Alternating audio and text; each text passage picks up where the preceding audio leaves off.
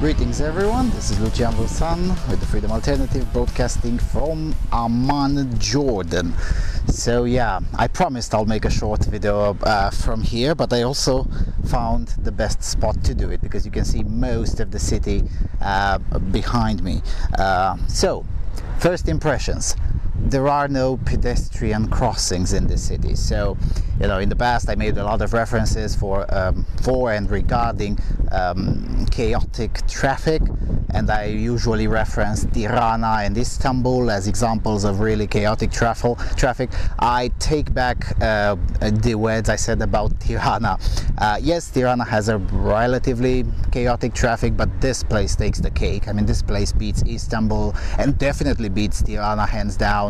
And any other city in Europe. Pff, petty amateurs when it comes to uh, chaotic traffic.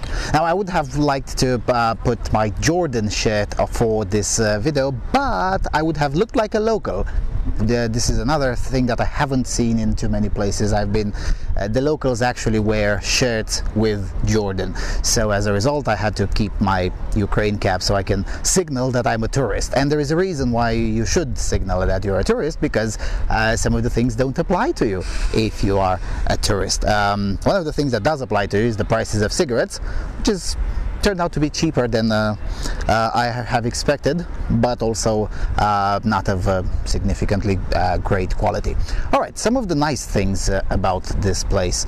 yeah, the weather is fantastic. I mean, it, really is. by October standards, it's awesome absolutely awesome. Uh, the people are significantly nicer than you would have thought at the first glance seriously. Uh, whenever you need help it's really easy to get it. Most people here understand the English language. They are not particularly fantastic most of them in replying properly. You have to ask them twice or, throw, or sometimes three times until you understand what they mean. But you know slowly even the older people they're starting to uh, get around to making themselves understood in English, which is nice. That kind of effort uh, should be appreciated. Also, the place is remarkably safe, and uh, I stress this for two reasons. First of all, is well, it kind of makes sense to be, and the second reason is because uh, uh some of the uh, patrons of this channel uh, they were only half joking when they said, "Well, if you survive your tour, your Middle Eastern tour, then we'll, we maybe we can do this or that and whatever." Seriously, people, it's really nowhere near that dangerous. It's just not except for the traffic again i mean if you're um, if you're walking too much then uh, yes i guess uh, you would be in a, a, bit of danger. But otherwise no. It's actually quite tolerable. All right uh, what other things i'm supposed to say?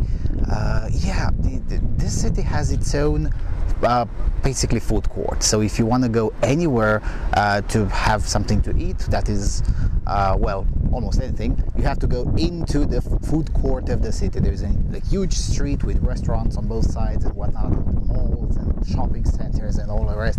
You can eat there. If you want to eat anywhere else, like I don't know, in the city center, tough luck. Uh, there aren't many uh, food joints um, available in the, in the city center, which means, well, I got um, I got in a bit of trouble because I, you know, I, I I've rented a place that is very close to the city center, thinking in logical terms that well, if it's close to the city center, then that means most of the attractions of the city should be there.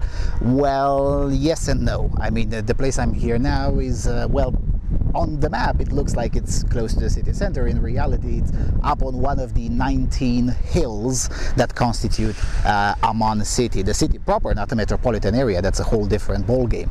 Uh, so yeah, it is close, but not really close. I mean, it, it's all on a hill somewhere and it's all uh, with huge stairs. I mean, it's comparable with the hill that I've shown to you from Budapest, Hungary, except that here there are 19 of those. It's not just one.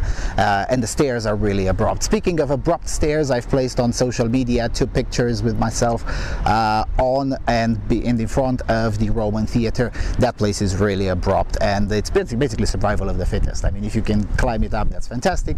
If you can't, well, tough luck. I mean, the emperor who built it probably hated your people. uh, in any event. so yeah uh, there's that. Uh, what else? Oh yeah uh, tomorrow well I guess today when you will be seeing this video depending on the internet connections which are really not that bad but obviously worse than they are in Romania. But um, soon enough I'm heading towards Petra and uh, I'll be keeping the promise that I made to y'all and showing you a, a, nice ancient city that, uh, well, until very recently, few people even knew it, it even exists anymore, but it does. It, it is continuously uh, inhabited and has been for uh, close to 2,000 years. So yeah, uh, right around, well, to my left, and I guess to your right, the way you're looking, uh, there is also another um, uh, remnants of the Roman civilization. So right behind me, downhill somehow is a Roman theater built uh, 1900 years ago. Then there's Hercules column, uh, again to my left, I'll show it to you. Um, well, you're looking at it now and um, yeah so there are a lot of things uh, left from the previous civilization that used to rule this land. Uh, and it's a good nice thing that uh, they're still standing because at least we get to see them. Uh, there have been others throughout the Middle East but some of them sadly no longer stand. And we all know why that happened uh, anyway uh, political research is not going that particularly well but it has been um, progressing well, then again I've only been here 48 hours so there's plenty of times to, of time to uh, get that around. But yeah, well, obviously all of those things uh, I'll be mentioning um, at the end of the tour when I'll be uh, back to Cluj-Napoca. So yeah, the, the plan goes um, pretty much as planned. I mean, there haven't been too many big surprises. Um, some of them, uh, the, the, surprises that have been, uh, some of them turned out to be uh, pleasant ones, namely that things ended up costing slightly less than predicted. others, of course, have been the other way around. Things turned out to be costing more than predicted, but overall things are going well. And yeah, that's a hint for you to give shekels because this this tournament is really uh, turning out to be um, quite expensive. But it's it will totally be worth it, uh, particularly the portion uh, with Israel, but also this portion because uh, I've already gathered up a, a, little bit of notes, and in the next four or five days, while I'll still be here, I'll be gathering a lot more notes, and um, there will be quite a lot, quite there will be quite a lot of informative content for you without um, with regards to the geopolitics of this area because obviously I'll be very interested in that too. Alright, so that's basically the first and probably the only update here, while I'm in Jordan. Uh, I'm alive, it's all okay, it's really not an issue. Uh, and uh, see you all soon, I guess in about four or five days, depending on how fast I'll be able to upload it, because there is a referendum in Romania and uh, it's gonna happen whilst I'm away. I'm gonna vote in Tel Aviv. So I'm looking forward to make that video and I'll explain then why I've been looking forward to making it. Alright, so with all that being said, thank you all for watching. I'll see you all soon. Cheers.